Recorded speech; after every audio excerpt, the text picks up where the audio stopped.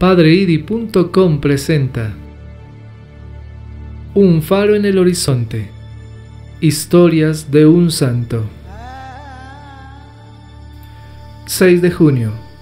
San Rafael Guizar y Valencia, obispo de Veracruz. El niño Rafael Guizar vio la luz del mundo el 26 de abril de 1878 y al día siguiente fue bautizado como consta en el acta de bautismo en la que se lee. En Cotija, Michoacán, México, a 27 de abril de 1878, yo, el presbítero Agustín Covarrubias, cura, exorcicé, puse óleo, sagrado crisma y bauticé solemnemente a un infante que nació un día 26 en esta parroquia. Púsele por nombre Rafael, hijo legítimo de Prudencio Guizar y de Natividad Valencia. Fueron sus padrinos Juan González y Benigna Valencia, cónyuges, a quienes advertí su obligación y parentesco espiritual y lo firmé. Agustín Covarrubias, una rúbrica. Aprendió sus primeras letras en la escuela parroquial de su tierra natal y más tarde en un colegio que fundaron los padres jesuitas en la hacienda de San Simón en los alrededores de Cotija. Ingresó al seminario de la diócesis de Zamora en el año de 1894, en donde permaneció hasta el año de 1901, en el que, en las temporadas de Pentecostés, primero de junio, recibió la ordenación sacerdotal cuando contaba con 23 años de edad. El día 6 de junio del mismo año, en la festividad del Corpus Christi, celebró su primera misa en su tierra natal. Apenas ordenado sacerdote, comenzó a acompañar en las visitas pastorales al excelentísimo señor obispo de Zamora, don José María Cázares.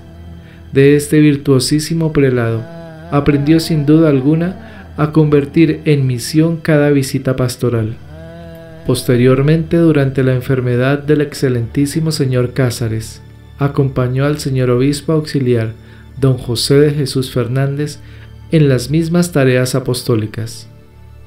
Tuvo la encomienda de ser el director espiritual del Seminario de Zamora, donde impartió la cátedra de Teología Dogmática, también fue nombrado canónigo de la catedral. Con estos cargos pudo desarrollar una amplia actividad misionera, en la que involucraba a los alumnos del seminario y les enseñaba a la vez el arte del apostolado. Fundó una congregación religiosa puesta bajo el cuidado de Nuestra Señora de la Esperanza. Desgraciadamente esta obra tuvo poco tiempo de existencia, debido sobre todo a las circunstancias que se vivían en el país en los inicios del pasado siglo. El amor a Dios y la presencia de nuestro Señor Jesucristo en la Eucaristía, así como la devoción a la Santísima Virgen María, eran las notas distintivas de sus misiones. A todos los pueblos que llegaba, siempre predicaba la doctrina cristiana, inspirado en un sencillo catecismo que él mismo compuso y escribió adaptado sobre todo para los sencillos de corazón. Muchas generaciones aprendieron la doctrina cristiana con su catecismo, el cual perdura hasta nuestros días como una forma de instrucción de fe. Para el padre Rafael Guizar, ganar almas para Dios era el gran reto de su vida. Esto lo lograba mediante las misiones predicadas tanto en el territorio mexicano como en los lugares fuera de México, Cuba, Guatemala, Colombia y el sur de los Estados Unidos. Pero además, durante los conflictos bélicos existentes en México por la Revolución de 1910, pudo prodigar la caridad y derramar la gracia de Dios en los enfermos y moribundos por el movimiento armado. Disfrazado de vendedor de baratijas, en medio de la lluvia de balas, se acercaba a los heridos que agonizaban y les ofrecía la reconciliación con Dios, les impartía la absolución sacramental, muchas veces les daba también el sagrado viático, que llevaba consigo de manera oculta para que no lo descubrieran como sacerdote. Son numerosos los episodios en los que narran las intervenciones heroicas del padre Guizar para salvar almas y encaminarlas al cielo. Sufrió varios destierros de su patria, y en todas partes donde se encontraba su amor por las almas, le transformaba en un gigante de la caridad y el amor al prójimo, dando todo lo que tenía a favor de los desposeídos. Estando desterrado en Cuba, cuando impartía fructíferas misiones, después de haber sido nombrado misionero apostólico, fue nombrado obispo de Veracruz y recibió la consagración episcopal en la ciudad de La Habana por el delegado apostólico Monseñor Tito Trochi el 30 de noviembre de 1919. El día primero de enero de 1920 partió rumbo a Veracruz en el navío llamado La Esperanza y después de llegar al puerto se dirigió a la ciudad de Xalapa, sede de su obispado, en donde tomó posesión el día 9 de enero del mismo año. Apenas hubo llegado a su diócesis, se distinguió por su celo ardentísimo a favor de las almas y por su gran caridad para con los demás, pues tuvo que enfrentar los estragos de un gran terremoto que había devastado la zona de Xalapa, dejando sin hogar a muchos de sus hijos. Monseñor Guizar se dio a la incansable tarea de ayudar a quienes lo necesitaban y a visitar personalmente las regiones más afectadas, llevando la palabra del Señor y víveres para asistir a todos los dañados por el sismo. Monseñor Rafael Guizar y Valencia no solo fue un misionero infatigable, sino que también fue un buen pastor que siempre estaba dispuesto a dar la vida por sus ovejas, y fue además un padre solícito y bienhechor de los pobres y desamparados.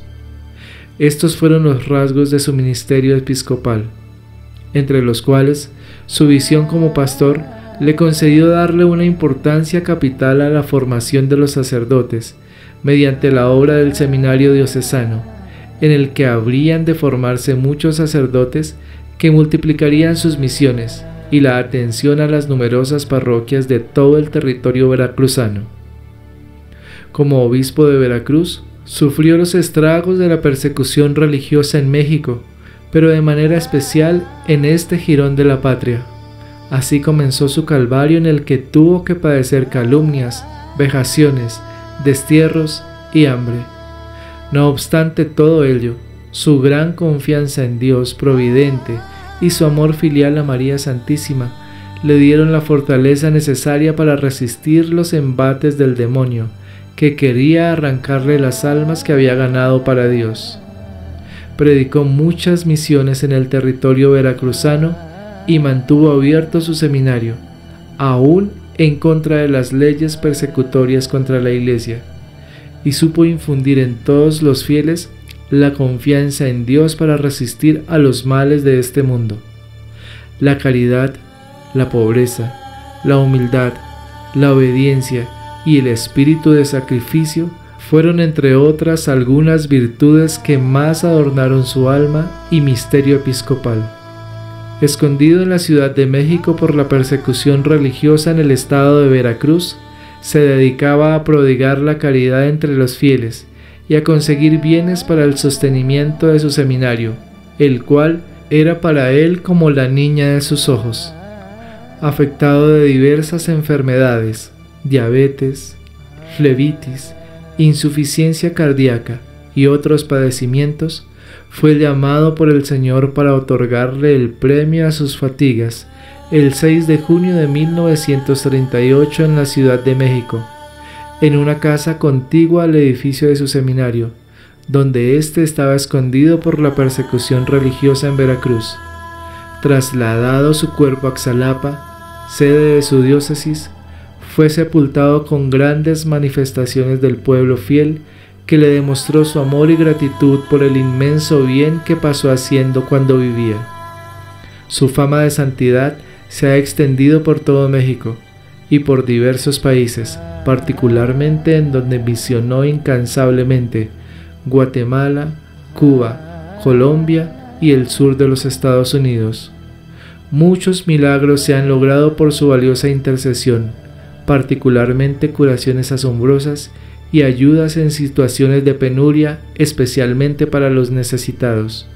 Su Santidad Juan Pablo II lo ha declarado beato el día 29 de enero de 1995 en Roma, Italia, en la Patriarcal Basílica Vaticana, y es un ejemplo de pastor abnegado y héroe de las virtudes cristianas. Fue canonizado el 15 de octubre de 2006 en la Plaza de San Pedro, en celebración presidida por el Papa Benedicto XVI.